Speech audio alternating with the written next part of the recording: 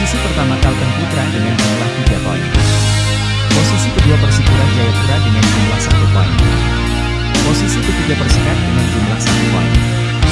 Posisi keempat PCS Cilacap dengan jumlah 4